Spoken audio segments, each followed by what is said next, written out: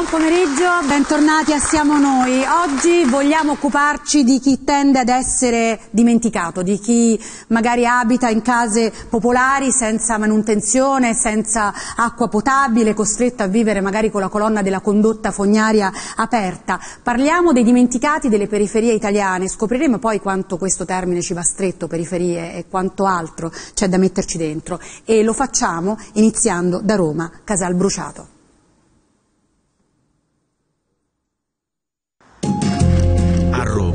C'è ancora chi è senza acqua potabile e fognature. Periferia Sud, via di Torpagnotta. Queste sono le ultime case della capitale. Qui si attende, ormai da decenni, l'allaccio alla rete idrica, un'attesa che sembra essere infinita nella periferia dimenticata. Questo è il puzzo. Qui c'è, qui c'è la pompa e poi dentro qui le pompe elettriche con gli accumuli, filtri vari che... Ma qui parliamo di case abusive, perché non hanno la fognatura, non hanno l'acqua potabile? Assolutamente no, parliamo di case che eh, sono state costruite con regolare titolo edilizio. Le prime concessioni rilasciate in questa zona eh, sono del governatorato di Roma e sono datate 1930. A pochi passi arriva la condotta idrica che si interrompe bruscamente per eh, basterebbe prolungarla circa 1000-1200 metri di condotta. Un chilometro e due. Assurdo, ma l'acqua è molto vicina. Le tasse, insomma, logicamente paghiamo tutto come è giusto, però poi quando è il momento invece dei servizi, un po' meno, insomma, siamo un po' di serie B. Dimenticati e di serie B devono sentirsi anche i cittadini di via di Casalbruciato, periferia est di Roma.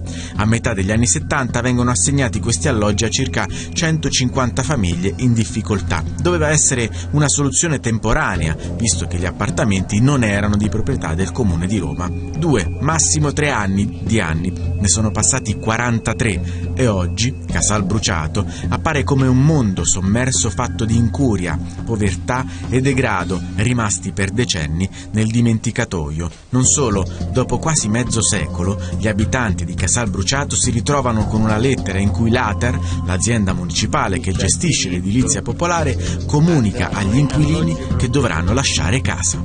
Qui c'è scritto che c'è la possibilità, possibilità di un trasferimento temporaneo presso alloggi che si renderanno disponibili. Eh, forse, quindi cioè, lo, non lo sanno neanche loro dove dobbiamo andare se andiamo via da qui. Noi non sappiamo che fine dobbiamo fare. Lei è pensionata? Io sono pensionata, prendo 800 euro al mese, pago 210 di affitto, però vorrei sapere che, di che morte dovrò morire. Dispiace se, se ci dovessero spostare, però se le case sono pericolanti, perché purtroppo sono pericolanti. Guarda lì, Non era così di prima? stava all'altezza qui come questo. Cioè si è proprio abbassato totalmente l'asfalto. Guarda, lo vedi da qui, E qui sotto cosa c'è? i garage. Sopra c'ho la camera da letto, ci dormo qui. Cioè qui, questa, questa che sentiamo un odore pazzesco, fortissimo, questa, i pilastri sono in mezzo ai, in mezzo ai liquami. Comunque andiamo via che l'odore qui è troppo forte. Ma lei abita qua? Lì abita qui, dentro qua la macchina lì. da quanto tempo? Saranno dieci anni. Dorme, mangia e fa tutto lì.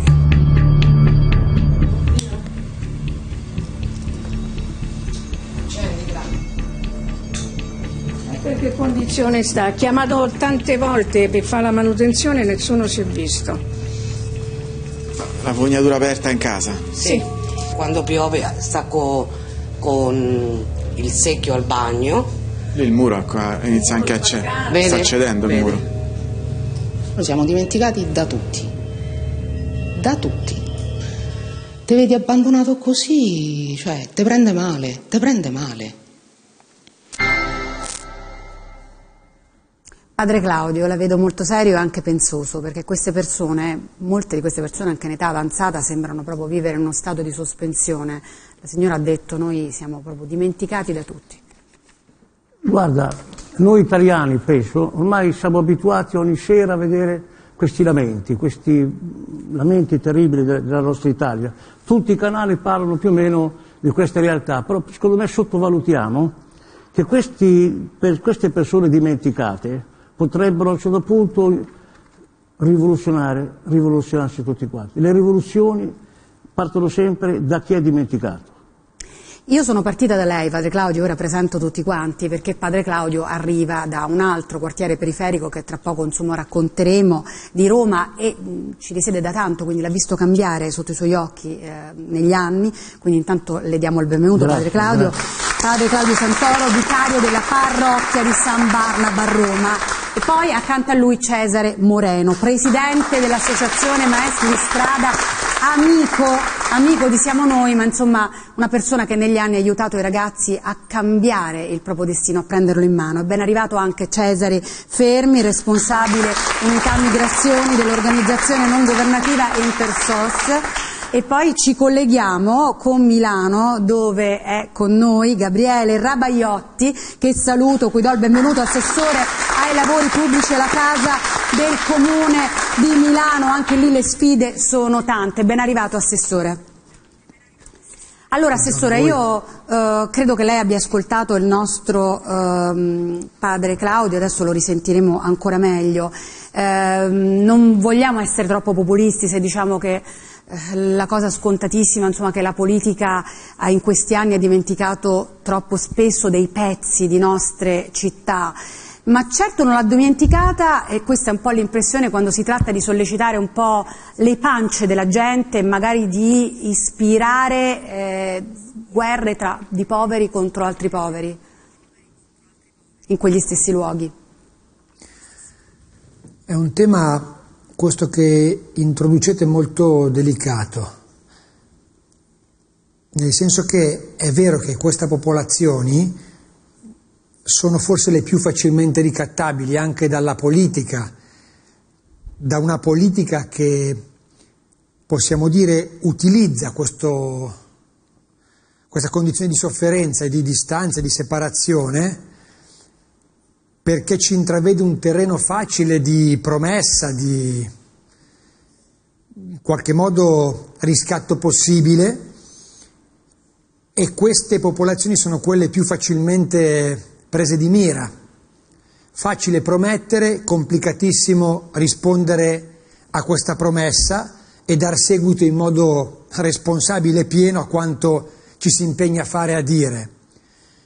In questo le posso garantire, posso garantire a chi sta ascoltando, a chi è presente con voi in studio, che a Milano stiamo cercando di svoltare e di dare a questa, come dire, gestione, fatemi dire così, che mi preoccupa, che trovo un po' colpevole, uno sguardo, un taglio molto operativo, cioè mm. il piano periferie è un piano che mette a fuoco dei contesti e in questi capisce come fare e che cosa fare. Ecco perché Assessore spesso... no... promessa Assessore, no, la interrompevo perché spesso questa parola periferie, che è un po' limitata, lo abbiamo detto, ha immediatamente una connotazione negativa, ma poi le periferie delle città insomma, rivelano delle ricchezze inaspettate se le si sa accogliere e anche accompagnare. Qui poi abbiamo Moreno, ci dirà sicuramente qualcosa di più e qui ci spostiamo per non essere troppo milanocentrici o romacentrici anche su Napoli. Mm. Sì, sicuramente. Poi ascolterò volentieri anche che cosa le altre città, Roma, Napoli, hanno da raccontare. Voglio solo dirvi che per poter valorizzare le risorse, le opportunità che questi luoghi hanno, e le hanno anche in modi sorprendenti, dobbiamo tornare a starci in mezzo, perché da fuori queste risorse sono invisibili. E noi siamo rimasti per troppo tempo lontani, lasciando questi contesti, questi territori e queste persone da sole. Ecco, grande solitudine padre Claudio, ehm, ci sono tanti modi di stare, eh, padre Claudio lì, insomma nelle zone difficili, togliamo la parola periferia che mi sa che le piace poco, ci sta da parecchio, lì spesso la parrocchia si trova ad essere come dire un avamposto eh, non voglio dire l'ultimo avamposto, ma un avamposto importante, cui si rivolge anche a una popolazione lontana, diciamolo, va dai valori della Chiesa. Sì, diciamo che purtroppo molte volte è proprio la Chiesa che è lontana da queste persone. Queste persone vengono da noi, ma noi forse, sicuramente per molti, eh, siamo lontani da loro e magari in tanti posti Papa Francesco lo ha richiamato, dobbiamo uscire dai palazzi, dalle chiese, dalle istituzioni, dai sacramenti, vengono sempre quelli, autoreferenziali, non ci accorgiamo che attorno alle parrocchie, limite parrocchie propriamente detto, c'è un mare, un 70-80%, si parla di percentuali di gente, che è, veramente della parrocchia pur non essendo della parrocchia a livello sacramentale. Quindi io penso che da parte de, della mia parrocchia, da parte tua delle parrocchie del mondo, che siamo sul territorio precedente in modo precedente quelli della realtà che c'è adesso, certo. di uscire da una certa dinamica di proselitismo, di missione per i sacramenti, ma come dice ecco. il Papa, uscire... Una chiesa in uscita. Uscire, uscire. Padre Claudio, devo dirle, io arrivo da Cagliari della settimana sociale che poi qui siamo noi, abbiamo seguito eh, in vari modi, in diverse puntate e ho colto i segni di un cambiamento grosso in questo senso, di parrocchie che stanno sul territorio, che insomma operano in modi molto concreti anche nell'accompagnare i ragazzi al lavoro, nel combattere la dispersione scolastica. A proposito di combattere la dispersione scolastica, insomma Cesare Moreno con sua moglie, che vogliamo anche ricordare, eh, da tanti anni ha raccolto la sfida attraverso l'educazione, attraverso la cultura, di cambiare quel destino di ragazzi che vivono le periferie di Napoli che sembra segnato. Sì, quello che voi avete visto negli edifici dovete immaginare che succede nel cuore e nella mente delle persone. E la madre di tutte le emarginazioni è l'emarginazione interiore, cioè il fatto di ritenere di non potersi muovere, da dove si sta, ma non nel senso fisico, proprio nel senso mentale e affettivo del termine. Quindi l'educazione è una risorsa straordinaria nelle periferie. Non è una risorsa per i giovani, è anche un, una risorsa per gli Voi adulti. avete fatto, ricordiamo al nostro pubblico, cose eh, molto pratiche con i ragazzi per fare in modo che insomma, avessero anche loro gli strumenti per entrare da protagonisti, no? anche quelli che a scuola proprio non ci volevano entrare, neanche sì. spinti a forza. Sì, la cosa straordinaria è che noi in questi luoghi, per esempio, lavoriamo con la bellezza, perché portare la bellezza in questi luoghi, cioè fare in modo che i ragazzi scoprano il bello che ci sta dentro di loro, il buono che c'è dentro di loro, è fondamentale, perché se noi provvediamo soltanto, e non si provvede, però se provvediamo soltanto agli intonici, alle fogne, alle tubature, ma poi dell'anima e del cuore chi si occupa. Quando si dice periferie dimenticate, eh, la prima dimenticanza è di coloro che dimenticano se stessi, cioè dimenticano di essere delle persone capaci di cambiare se stesse e cambiare il mondo. Questo Mi offre un po' anche il là per eh, capire che insomma, queste periferie esistenziali hanno poco a che fare con lo status sociale, con il portafoglio, i fatti per esempio drammatici che ci consegna la cronaca eh, di ieri, il ragazzo del Bangladesh, lavoratore, eh, veramente che usciva da una giornata pesantissima di lavoro in un ristorante pestato quasi a morte da uh, giovani ragazzi insieme a altri due suoi compagni, insomma questo avviene nella centralissima Roma di piazza uh, Cairoli e qui si toccano diverse periferie esistenziali. Sì, quello che noi diciamo con uno slogan semplice è che le periferie del mondo, quelle della città e quelle dell'animo sono collegate tra di loro. E quando c'è emarginazione interiore, poi questa emarginazione viene agita fuori. I giovani che picchiano sono giovani che non vanno d'accordo con se stessi, che hanno una rabbia che non riescono assolutamente a, a gestire e spesso sono troppo soli, cioè l'educazione dovrebbe servire a questo, a stabilire legami, non a imparare delle cose. Ricreare relazioni. Ci torniamo su questo tema eh, perché vorrei coinvolgere anche Cesare Fermi. Eh, voi operate, poi vedremo i progetti per cui avete raccolto fondi, ma adesso così, eh, tanto per darci un'idea, ehm, voi come ONG vi trovate a lavorare in quartieri difficili eh, della città eh, in condizioni simili a quelle che trovereste in paesi in via di sviluppo, che insomma sembra una contraddizione grottesca insomma, in questa epoca, nella capitale globale. Sì, la, il mondo è cambiato parecchio, quindi nel senso purtroppo noi come il nostro compito era proprio quello di salvare delle vite, di arrivare in zone dove c'era un bisogno di sopravvivenza e di rispondere a dei, a dei bisogni umanitari primari.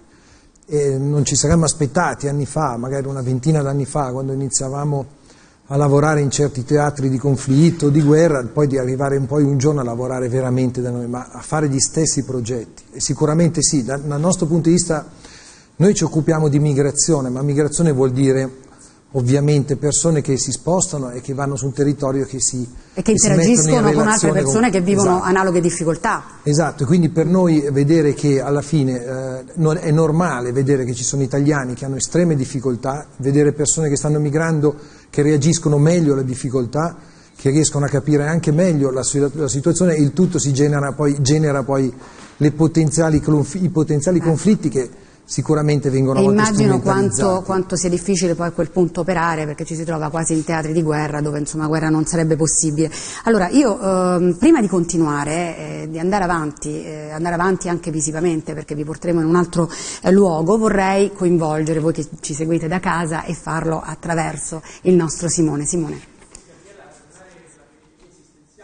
fisica e territoriale è il tema di oggi e soprattutto è la sfida che siamo noi a voluto raccogliere. Allora vi chiediamo di dire la vostra su questo tema lasciandoci un messaggio in segreteria al nostro numero verde che è 800 22 88 96 oppure inviateci una mail a siamo noi chiocciola tv2000.it lasciateci un commento sulla nostra pagina Facebook o un tweet a chiocciola siamo noi tv2000 e seguiteci anche da cellulare e tablet scaricando la nostra applicazione. Vi aspettiamo.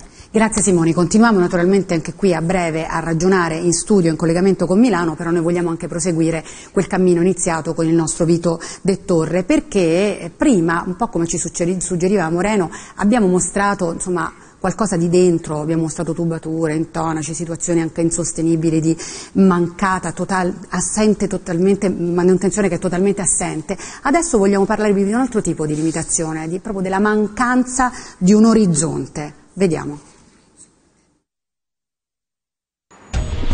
Tor Bella Monaca sembra essere un quartiere popolare come tanti, una periferia di 30.000 abitanti, fatti di cronaca legati alla delinquenza, qui non sono un'eccezione. Negli anni, con l'assegnazione degli alloggi popolari fatta di graduatorie e punteggi, le storie più difficili di disagio sociale sono state ammassate ai margini della città, da una parte, in questi palazzoni grigi. Una sparatoria vera e propria non l'avevo mai vissuta. Alla guida c'è Marco Bertolini, un operatore sociale che lavora a Torbella Monaca da quasi 30 anni. Si occupa soprattutto di ragazzi minorenni e ha scelto, ormai dal 1989, di lavorare in questa periferia, di restare, è il caso di dire, in prima linea. Questa è la zona dei pusher. Questa è la, questa è la zona dei pusher. Dei, dei, pus, dei pusher, tutta via dell'archeologia, una parte, insomma, e qui c'è gente che è di vedetta anche, eh? per esempio questo signore può essere che sta di vedetta, le forze dell'ordine qui... Dici questo signore può essere che sta... Di vedetta, può essere, come no. E poi ovviamente come avete visto tutte, tutte queste macchine bruciate eh, sono macchine rubate. Mm. Quindi, e qui sotto qui ci sono i garage, ci sono, ne è pieno del, di, di refurtiva. Pure questa è zona di spaccio? Sì, anche questa è zona di spaccio. Quella canzone lì era vedetta? Mi sa. Andate a vedere. Sì. Questo signore sparava da questa eh, portone e, dalla, e rispondevano da una di queste finestre. Quindi si sparavano da una sì, finestra da una finestra all'altra e questo è stato il mio primo impatto.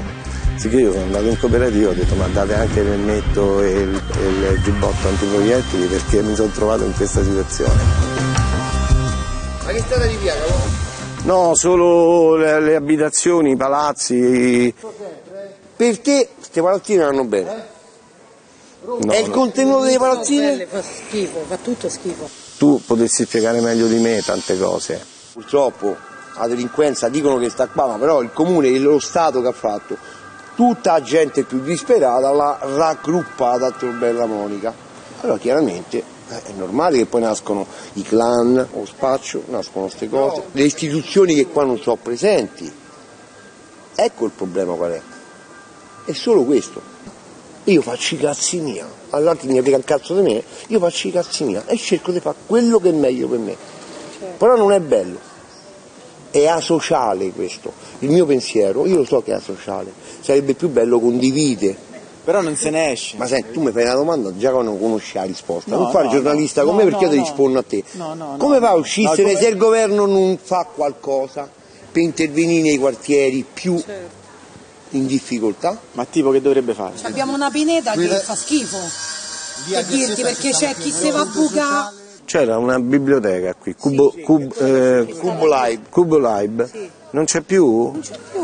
Che hanno fatto? Ci hanno messo degli stranieri extracomunitari dentro, che è quello, un- non uno strumento, un posto che serviva culturalmente per il quartiere, per i nostri ragazzini. Io ho ragazzini di 7 anni, sono grande l'età. Certo. Lei ce n'ha 13, ce l'abbiamo tutti i ragazzini. E non è giusta questa cosa. Cos'è che noi che siamo, noi popolo, vento? Non è vero. Ma come non è vero? La gente non si rende, la gente siamo vento, rende conto. noi siamo vento, se non siamo ammanicati politicamente con qualcuno che non diamo il voto in tanti a, a una certa persona, l'unica fiducia c'è tra di noi che stiamo qua, però è, è l'aiuto tra poveri, ci aiutiamo tra poveri. Padre Claudio, ci aiutiamo tra poveri, detto proprio in eh, romanesco, ce l'ha detto con molta chiarezza. Certo, E certo. poi c'era quel paradosso, no, che raccontavano la, la- la biblioteca che non c'è più, anziché insomma ragionare su chi ha deciso di, di- di chiudere quella biblioteca o comunque di destinarla a un'altra funzione, eh, se la prendevano con altre persone in difficoltà quanto loro che sono appunto immigrati e si trovano a vivere lì. Sono disperati, eh, si chiama la guerra dei poveri, disperati contro disperati, uno contro l'altro. Io però insisto con l'idea prima che ho fatto, dicevo della rivoluzione. Le rivoluzioni hanno cambiato la storia e le rivoluzioni passano sempre dalla base, dalla gente che no- non viene ascoltata. Se appunto questi mo si lamentano, domani si lamentano, si mettono assieme, anche l'assessore che ha parlato prima, i governi purtroppo sono millenni, millenni, i governi vi daremo le strade, vi faremo co- cose nuove. Ormai l'umanità si è evoluta, co- comprende che quelli che stanno a palazzo, eh, scu- scusate, pensano al palazzo, e la periferia, una volta la periferia, era il 90% della popolazione, perché tutto serviva al palazzo. Per fortuna la periferia sta diventando meno, però c'è sempre questa periferia viene- di cui si servono tutti, cominciando da chi governa. Eh, si servono tutti ma nessuno la serve e questo porta alla disperazione, porta a un un eventuale pericolo sociale. Senta, Assessore Rabaiotti, no? ha sentito eh, Padre Claudio e ha sicuramente sentito anche quello che diceva la persona intervistata dal nostro Vito De Torre, perché diceva una cosa giusta a mio parere, diceva tutta questa gente disperata messa insieme, perché poi c'è stata questa tendenza troppo a lungo andata avanti di, di- di, unire indiscriminatamente 30.000 persone con problemi complessi, difficoltà importanti, tutte in un luogo e poi, come dire, chiudere le porte e dimenticarsene, creando così di fatto già le condizioni per l'esistenza di ghetti. E queste periferie non ci piacciono. Sì, non è che non esista una ragione, anche se è pesante dirvelo, ma in certi anni, quelli dell'esplosione demografica e quindi della crescita spropositata delle città, queste aree servivano per poter dare in tempi brevi o ragionevoli una risposta al tema della casa, purtroppo isolando il tema della casa dal resto, ad esempio il tema del lavoro, il tema del collegamento con altri pezzi di città Della e di cultura, della scuola, Ma quel- delle università. Esatto, quelle aree costavano molto poco e si è costruito in modo molto industriale per poter rispondere subito a quella domanda. Ecco, da un lato quindi esisteva una ragione, io adesso ero piccolo quando questa cosa è successa, però se la studiamo non era una follia completa. Si è, diventata, si è trasformata in una follia completa quando abbiamo completamente isolato questi pezzi di città dicendo abbiamo risposto al problema e non capendo che il problema stava anche altrove, sul tema della scuola, come i testimoni che sono in studio hanno raccontato, sul tema dei servizi aggiuntivi, lo sport, il verde, la cultura. E abbiamo dato risposta alla casa, abbiamo detto ok, la cosa si è chiusa lì e invece non era vero, non è così. E infatti, Assessore, diciamo, lei prima ci diceva, noi stiamo cercando di intervenire, ci rassicurava, diceva di occuparci di tutto questo, sappiamo che state andando in quella direzione. Ehm, io pensavo a quanto mm, ha detto Padre Claudio, no, il palazzo, Voi amministratori mi sembrate rispetto al palazzo parecchio in prima linea, cioè capita che poi tutte le frustrazioni dei cittadini eh, si, eh, siano direzionate, insomma, si rivolgano a voi. Eh, con quali strumenti? Cioè, vi sentite di avere degli strumenti adeguati per poter eh, intervenire? O vi sentite soli? C'è una grande solitudine anche degli amministratori su questo piano? Solitudine non vorrei dirlo, forse esagerato, di sicuro dobbiamo tornare, ragionando col governo, a mettere al centro il tema delle grandi città, perché le grandi città hanno questioni che altri pezzi di territorio non sentono e non avvertono. E su questo secondo me va riaperta una questione anche con il governo di una linea di intervento e di pensiero rivolta alle grandi città e alle grandi contraddizioni che viviamo nelle grandi città quindi non in solitudine, ma sicuramente un lavoro, un mestiere complicato. Dopodiché c'è modo e modo di farlo. Noi stiamo avvertendo con forza e responsabilità il fatto che se non torniamo in questi luoghi abbiamo perso la partita dall'inizio. Ecco. C'è altro modo di amministrare dal livello locale? Forse sì. Io sento questo tipo di necessità e su questo credo che dobbiamo misurarci oggi e domani.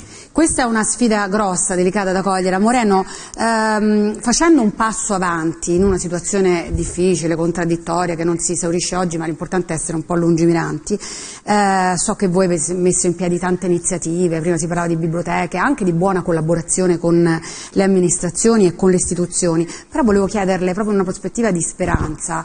Ehm, come si fa a essere ascoltati eh, da ragazzi che di fatto si sentono abbandonati, dimenticati in queste periferie, così come le stiamo Sentendoci incontrando. abbandonati anche noi. Mm. Eh, ho incontrato recentemente un amministratore comunale che, a cui la collega diceva come va nelle Filippine? Non riuscivo a capire, pensavo che fosse stato in vacanza. No, no, ma perché c'è uno scherzo tra di noi, perché io sono come il giapponese dimenticato nella giungla, sto ancora combattendo mentre gli altri si sono ritirati e noi siamo un po' così. E l'assessore giustamente dal suo punto di vista dice ci dobbiamo occupare delle grandi città, io dico dal mio punto di vista ci dobbiamo occupare dei piccoli vicinati, perché è da lì che si comincia. Quando le persone non si sanno occupare di sé, chiedono a altri di occuparsi. I signori architetti, anche nomi di grido, che hanno progettato questi quartieri non nell'urgenza, ma con la dovuta calma, hanno progettato dei quartieri in cui pare studiato apposta per scoraggiare i contatti.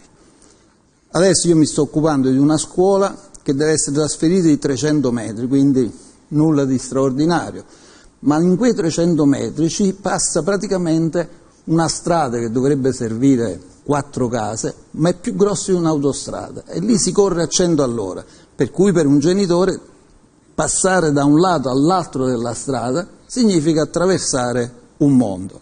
Ora, chi ha pensato questa urbanistica ha pensato che gli abitanti del lato A non dovessero comunicare con il lato B e quindi quello che poi succede, finisco subito, è che nel lato A ci sta la banda X, nel lato B ci sta la banda Y e noi non ne usciamo mai.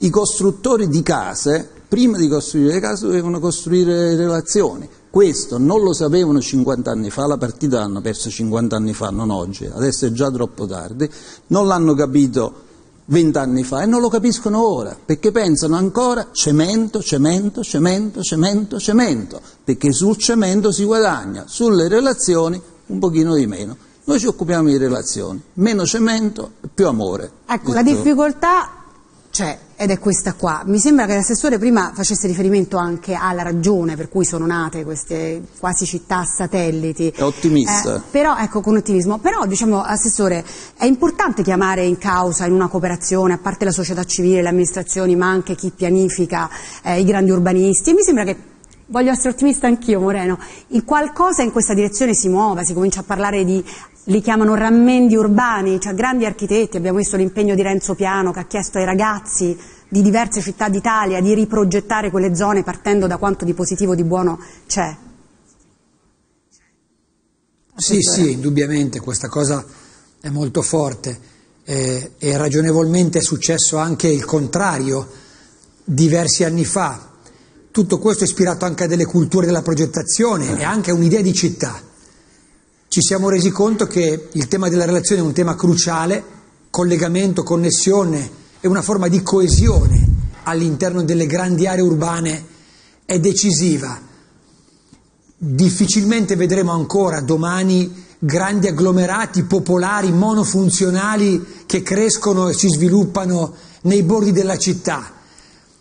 Oggi è più recupero di aree industriali utilizzate, è il tema della cucitura e del rammendo tra pezzi che cercano nuove identità. La città oggi è prevalentemente fatta e viene rifatta e ripensata dentro a, questi, a queste operazioni. Non posso negarvi che esistano anche forze che spingono per la speculazione del mercato e che cerchino di massimizzare il loro reddito. Abbiamo esempi Questo lampanti. è un compito del pubblico. Eh, riuscire a ridurre questo tipo di aspettativa e a mescolare alla parte di utilità privata il pezzo di pubblica utilità e di interesse collettivo. Ecco, questa Se è una strada, è una compito strada abbiamo perso la partita. Ecco, questa è una strada, Assessore, eh, sulla quale vogliamo incamminarci. Eh, padre Claudio, lei è venuto spesso a raccontarci, eh, anche a volte con un tono un po' severo su questo tema, che insomma la sua esperienza nel quartiere do- dove opera, insomma, che è piuttosto ampio, anche di dimensioni, le persone più umili, spesso quelle che hanno meno mezzi, poi si sono rivelate inaspettatamente anche le più generose. Io mh, vorrei che ci ricordasse anche quella iniziativa che si sta diffondendo a macchia d'olio, eh, per esempio la raccolta di pane nel quartiere, cui stanno aderendo parecchie persone, diversi panifici. La risposta, malgrado le difficoltà, malgrado la guerra tra, i- tra poveri, insomma c'è. La solidarietà aumenta sempre di più, i poveri, la, po- la povertà eh, unisce i popoli, non- la miseria li fa diventare facili. Pa- pa- La povertà unisce i popoli e si torna a quella famosa solidarietà circolare, cosiddetta circolare, perché uno a uno manca il pane, bussa alla porta vicina e gli dà eh, le uova al posto del pane. E così questa solidarietà eh, direi proprio circolare, sta aumentando sempre più tra, tra i tra noi poveri, quindi ecco il pane che viene dato, le- le- il, eh, i vestiti che vengono usati, che vengono magari acquistati nella bancarella dell'usato, così con i soldi che tu dai noi ti compriamo il sale, ti compriamo l'olio, ti compriamo la pasta e quindi questo è un movimento meraviglioso della, della solidarietà dei poveri che insieme costruiscono. E anche di vicinanza tra piccole comunità, relazioni come ci diceva anche- Moreno. Allora, lo- padre Claudio, la nostra Antonella Ferrara, lo sa perché si è messa praticamente alle sue calcagna, l'ha seguita in giro per forni e panetterie. Certo,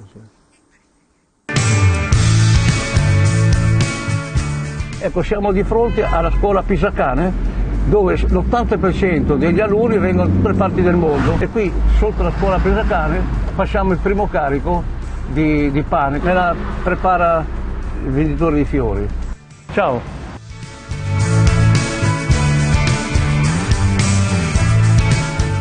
alle 6 alle 7 di mattina, l'unico sono io, ho aperto il fioraio, mi lasciano, io aspetto il padre, appena mi arriva le metto dentro la macchina. Io una cosa sento che è molto bene a farla, che così almeno aiuto pure io gli altri.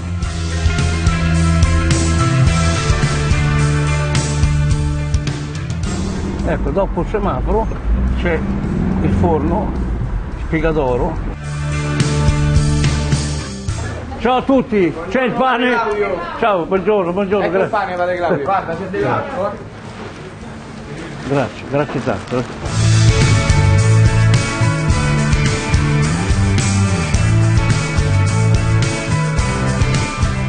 Buongiorno. Oh, ciao, oh, ciao, come va? C'è il pane, sì? Sì, sì, sì. Penso che sia una bella cosa e faccio per bene di Dio. Aiuto le persone che hanno bisogno. Grazie. Ciao, buona giornata.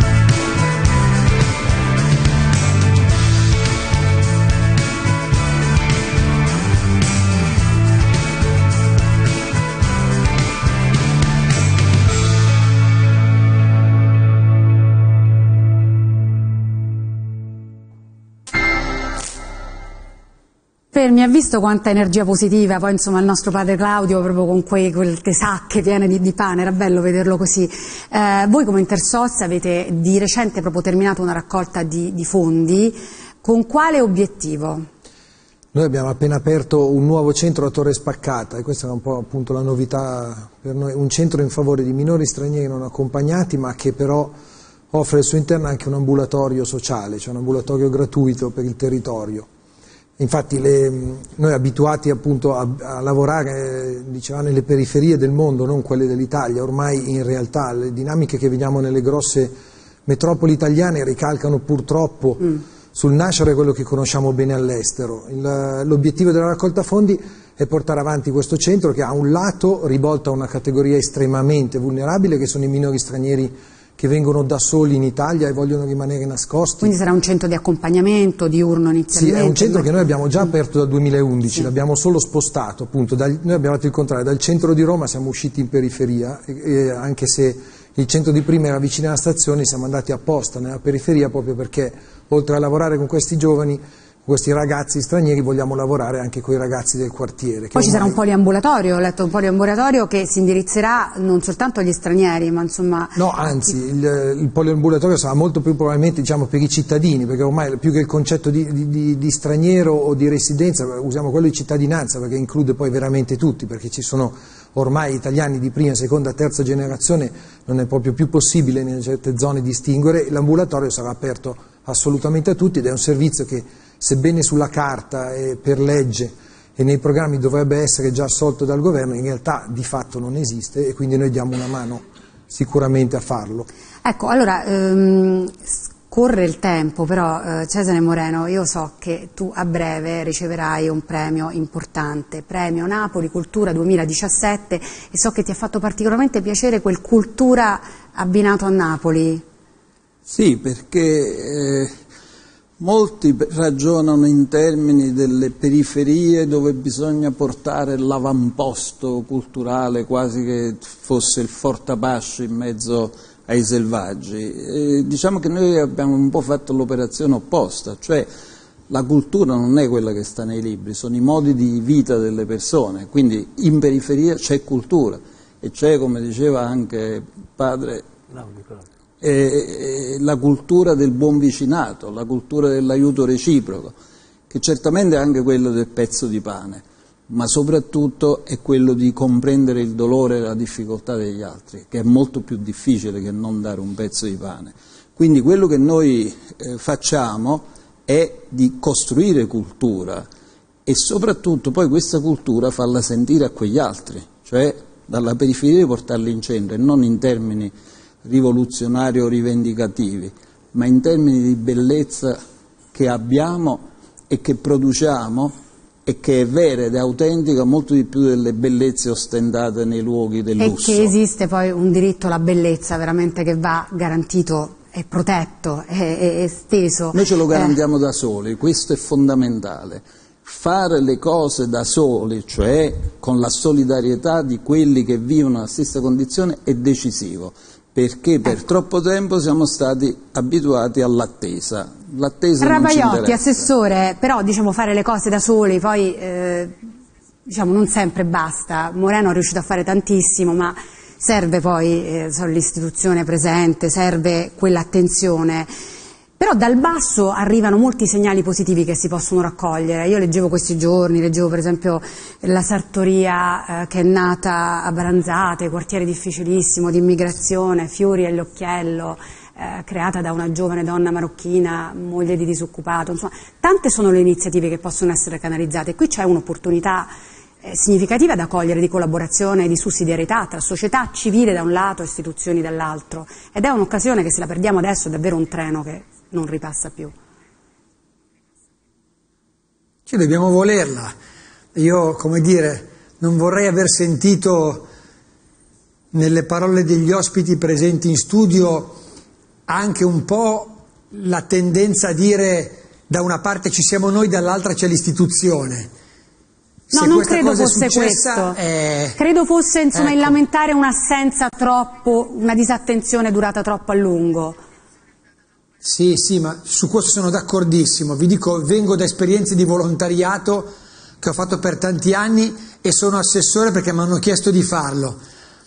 Però l'ho fatto anche per questo motivo, che riagganciare, rimettere in circolazione il rapporto tra società civile, con le sue reti, risorse, capacità progettuali e la forza dell'istituzione quando è presente, è fondamentale decisivo. Da soli penso che né gli uni né gli altri riescano oggi ad affrontare le sfide che la città ci pone. Ecco. E quindi l'invito mio è un invito a noi stessi, amministratori, ad aprire sì. come dire, le porte, allargare questo sguardo e ad uscire ma dall'altra una comunità civile, una società ad essere reattiva, presente, pronta anche a fare operazioni che diventino delle politiche per il domani. Ecco, io la, la, la fermo qua perché purtroppo il tempo eh, che avevamo è terminato, però su questa sfida del noi che ci riporta al nostro punto di partenza è ovvio che questo argomento ci terrà occupati per parecchio, ci torneremo, ci domanderemo anche come sostituiamo questa parola che non ci piace, periferia un po' limitata. Grazie a tutti i nostri ospiti. E vi ricordo che eh, torniamo domani puntuali alle 13.50. Restate qui, dopo la pubblicità torna la telenovela Maria.